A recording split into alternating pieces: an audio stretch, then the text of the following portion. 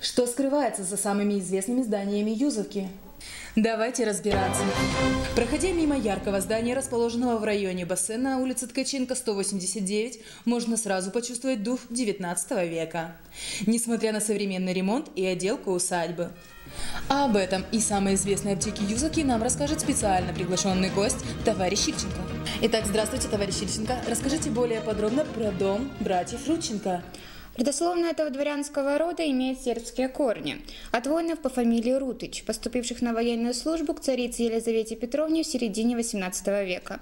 По семейному преданию Рутычи стали подписываться фамилией Рудченко, якобы по личному указанию канцлера князя Александра Безбородко. В конце XIX века в этом доме проживали Владимир и Софья Рудченко. Род Рученко был известен в России. В начале 20 века о них написали в рубрике «Уголовной хроники» во всех ведущих СМИ империи. 25 ноября приехал Екатеринослав дворянин Рученко, взял пропуск в тюрьму и 26 явился туда на свидание.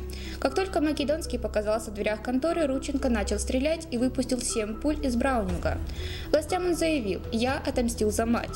Македонский обвинялся в умышленном поджоге с целью уничтожить выданный вексель 20 тысяч рублей, а также в умышленном убийстве тещи Шурина, лишившей его материальной поддержки. Да, таким мстителем оказался Николай Алексеевич Рудченко. А подробнее об этом деле вы сможете узнать в библиотеке Некрупской в отделе краеведения. А далее более подробно про аптеку расскажет нам товарищ Ильченко. На первом этаже здания располагался рецептурный зал, в котором изготавливали и отпускали лекарства по рецепту. Здесь же была приемная комната. На втором этаже жил сам младший и специалисты-фармацевты. Сам владелец аптеки был настолько уважаемым человеком в Юзовке, что даже был освобожден от уплаты налогов.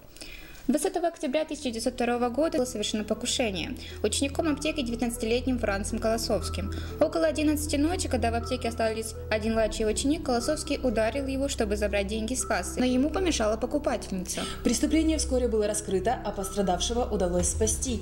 Сегодня же здание имеет третий этаж и современную облицовку. А я напоминаю, вы смотрите новости от Крупской, и у нас был специальный гость, товарищ Ильченко. И далее коротко о главном. На следующей неделе вас ждет множество видеопросмотров и кинолекториев, посвященным значимым событиям и датам.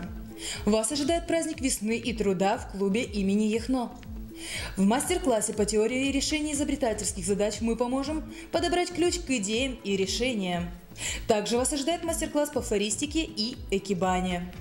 Все тематические мероприятия, мастер-классы и кинопросмотры вы сможете увидеть в видеоформате на страничках в библиотеке имени Крупской в социальных сетях.